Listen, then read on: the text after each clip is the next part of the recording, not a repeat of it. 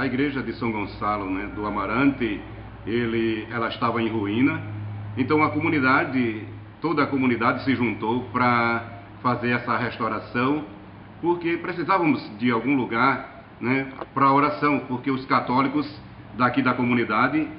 estavam né, sem assistência espiritual, então as missas eram celebradas na escola, né, era cedido pelo pessoal da escola, e a comunidade estava incomodada porque a igreja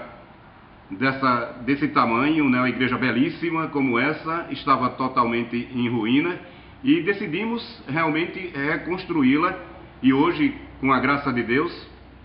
e com todo o povo desta comunidade, nós conseguimos né, restaurar toda essa igreja, inclusive com o apoio da paróquia e da diocese. E que graças a Deus, em primeiro lugar, né, essa igreja a partir de hoje ela vai começar todo o seu trabalho. A partir de hoje inicia-se o trido né, de celebração para no domingo, né, a grande festa no domingo de reabertura, de reinauguração né, da capela de São Gonçalo do Amarante e do Engenho Bu. Então, para nós é uma grande satisfação que onde o nosso povo, né, que precisa de um local para oração, como Jesus,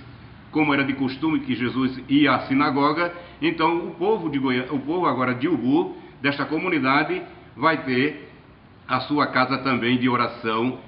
para que né, as missas que vão ser celebradas aqui na comunidade, ela não seja mais celebrada é, em, local, em locais provisórios, mas sim na sua capela de origem, que é uma capela belíssima e que graças a Deus ela está prontinha para a partir de hoje, com o início do trido, com o início do trido, nós vamos né, dar início à nossa festa que será concretizada no domingo,